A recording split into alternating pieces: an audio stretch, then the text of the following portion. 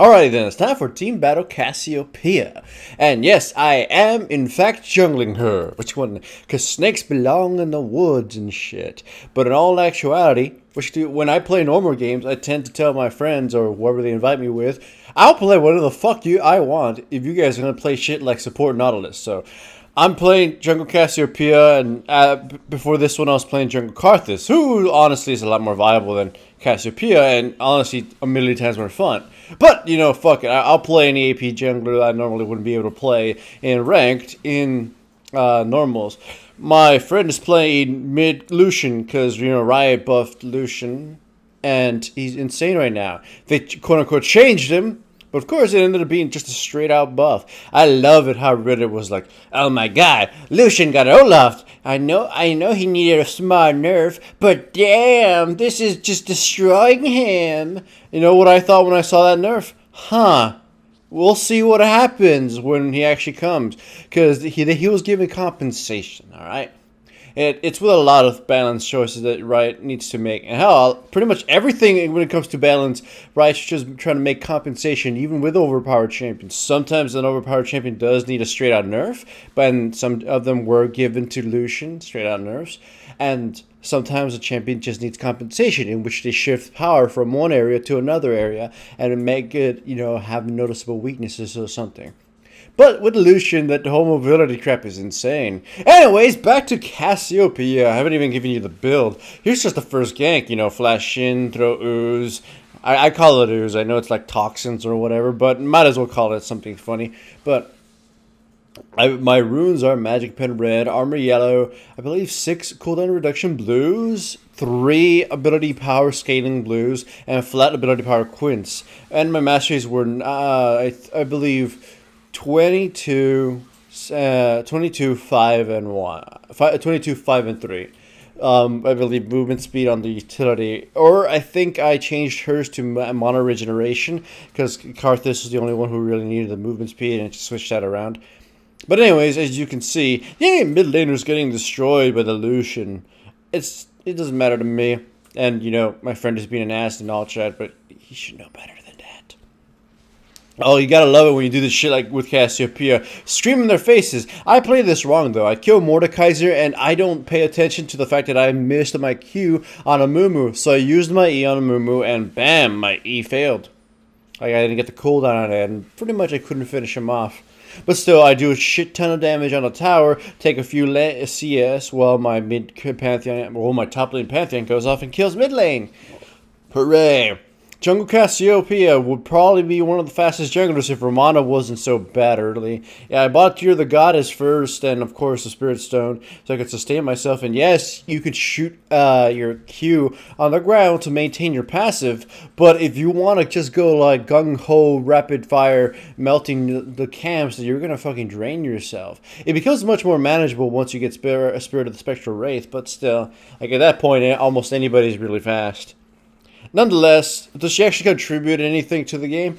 Not really. As a jungler, like I'd rather if there was any AP jungler that's you know like her that I would want to take, just be again Karthus, because at least with Karthus I had that global pressure and uh, the magic resistance debuff with his W with Cassiopeia, it's just her ultimate and uh, her sustained damage, which her sustained damage isn't that. Uh, I mean, it's uh, great, but sustained damage in general is not the best thing in the world unless you know it's yeah like a physical carry or some crap like that. Either way, my team fight uh, to fights here. It's a pretty fucking messy fight. Pantheon misses Z entirely on the entire enemy team. You know, the enemy team scatters strangely, and then it gets blown up by Graves. And then Lucian goes in with his high ass mobility and clears them up. Then Pantheon decides to dive after Lucian dies and he fails to do that. Literally returns for you know for whatever reason and gets herself killed. Then Mordekaiser flashes forward and uses his ultimate to kill the Pantheon, who probably would have died regardless of him using either spell. So messy fucking fight, but why do I care?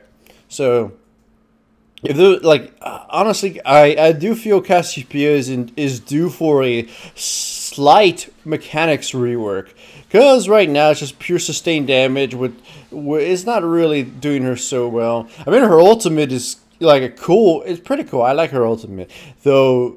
in in an honest sense, it's a lot weaker than a lot of similar ultimates, mostly because it has that condition attached to it that kind of makes it screw up or not you know not be as useful in all situations. I mean, when you get a five person stun because they all looked at you like you know surprise surprise eye eye phase, uh, I mean stone face. That's pretty fucking good. But in most other situations, it's like like if it only slows them, it's less good, and you might as well have had something like a nanny stun or whatever. But so I do like it, and I wish you know Riot would just give her some other boons to her abilities. Maybe make her E less dependent on the toxins. Because holy crap, that fucks up so much. Like even if you, even if it's unintended. Either way, here I love this. This is what I mean by the ultimate. The enemy team gets my two teammates so low, so they decide to just chase. But they cluster up and just stare at me. I mean, Zyra turns back at the right at the right time moment because she knew it was coming, but literally just gets the full brunt of it and gets bet her you know face brunted off. I mean, burnt off and then just destroyed, and the rest of the enemy team just gets killed or chased off. I love it, and that won't be the only instance of this. So, my team obviously has a lead. I, am kind of you know I got myself uh, a, a respectable lead early my teammates have, you know, a good kill lead. Oh, by the way, this is the same team we fought last time when I was Karthus, and they were equally as angry. And they were uh, shit talking in all chat, sort of. But wait, no, actually, it wasn't these guys. It was another group. Sorry, sorry for that team. It wasn't you. I played another normal, a batch of normal games the other day with another group, and we had a bunch of shit talkers through the all chat, and I was just like, I was just like, are you guys doing this? You guys are like 21 and 1, and you finally get a kill and you start shit talking. Either way, so here once more, the enemy teams just start grouping up for a fight. And Lucian initiates, they sort of counter initiate on just him, and you know they're a little too far to actually respond to it. Pantheon jumps in, the enemy team gets slow, and I see my opportunity, so I flash forward, scream in their faces, and kill two of them from behind. And then the rest of them just sort of crumble. I miss once again my combo, and I really can't get it off. However, we still kill Mordekaiser, and pretty much the rest of the enemy team is forced to scatter. With that, we are able to take a turret and take control of the map just a little bit. We can't take this next turret or the inhibitor, so it's just a victory right there.